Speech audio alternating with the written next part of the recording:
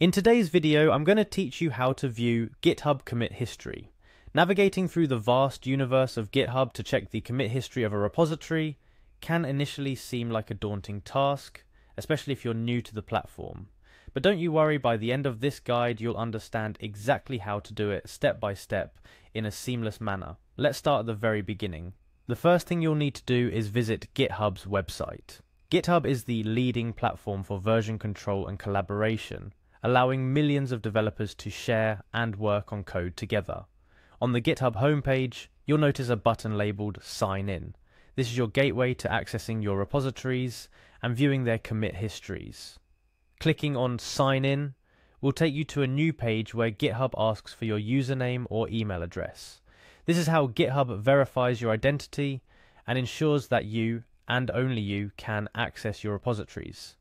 Make sure to enter the details correctly to avoid any access issues. Once you've entered your username or email address, the next prompt will ask for your password.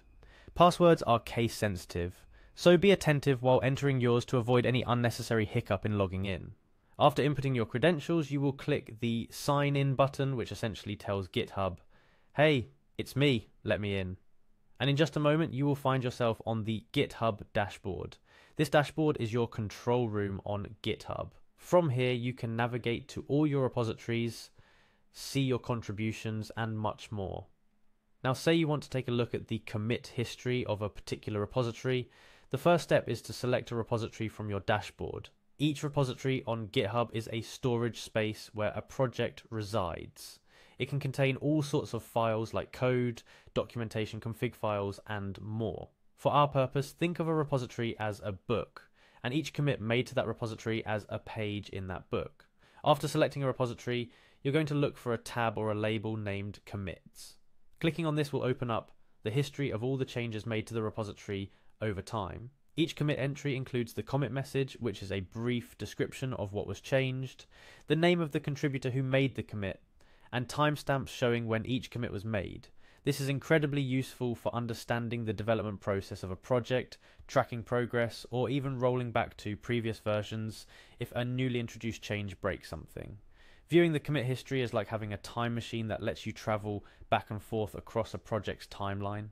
Each commit is a snapshot of the project at a specific point in time, allowing developers to keep a comprehensive record of what changes have been made and why.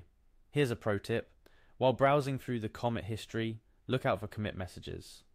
Good commit messages are short yet descriptive, giving you a clear understanding of what changed without needing to dive into the code itself. This can save you a lot of time, especially when you're trying to pinpoint when a specific feature was added or a bug was fixed. Remember, the beauty of GitHub is not just in sharing code or collaborating on projects, it's also in the ability to trace back the footsteps of a project's development journey through its commit history.